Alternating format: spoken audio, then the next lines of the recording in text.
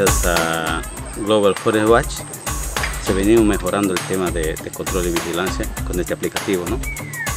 Y, es mejor, es mejor para nosotros porque ya tenemos en nuestro celular eh, cualquier actividad de alerta en la concesión, alerta de deforestación, ya tenemos para llegar a un punto definido y ya estamos aprendiendo mucho. Hay puntos que el satélite detecta y entonces es más fácil de llegar al punto, ¿no?